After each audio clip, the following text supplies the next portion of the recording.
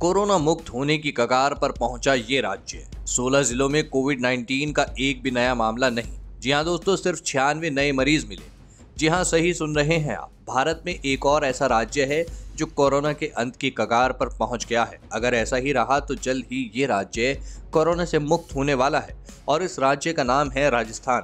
जी हाँ राजस्थान में अब कोरोना संक्रमण के साथ ही मरीजों की मौतें थम गई हैं। जी हाँ दोस्तों, आपको बता दें कि राजस्थान में सोमवार को कोरोना वायरस से संक्रमण के छियानवे नए मामले आने से राज्य में कोविड 19 के चपेट में अब तक आए मरीजों की कुल संख्या बढ़कर तीन लाख सत्रह हज़ार पाँच सौ सतासी हो गई है। अधिकारियों ने बताया कि सोमवार शाम छः बजे तक के बीते 24 घंटों में राज्य में कोरोना वायरस के संक्रमण से किसी भी व्यक्ति की मौत नहीं हुई है।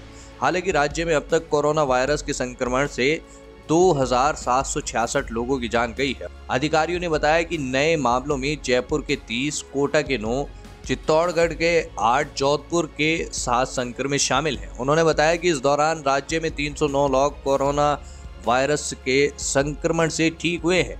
इससे राज्य में अब तक कुल तीन लाख बारह हज़ार आठ सौ तिहत्तर लोग संक्रमण मुक्त हो चुके हैं। अधिकारियों ने बताया कि राज्य के 33 जिलों में से 16 जिलों में कोविड 19 का एक भी नया मामला नहीं आया है। दोस्तों, फ़िलहाल इस वीडियो में इतना ही। देश विदेश की अन्य खबरों के लिए आप चैनल को भी सब्सक्राइब कर सकते हैं। धन्यवाद।